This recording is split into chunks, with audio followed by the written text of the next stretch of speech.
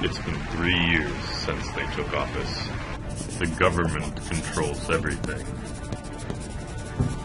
One has to know his enemy in order to defeat him. Luckily, Milton Friedman has someone on the inside. I have the story here.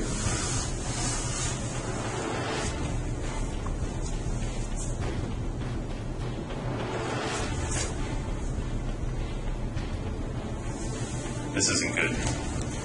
Government's only supposed to control three things justice, legislation, and defense. This just proves what I thought before. They're not doing anything, they're controlling everything. We have to stop them. I got this.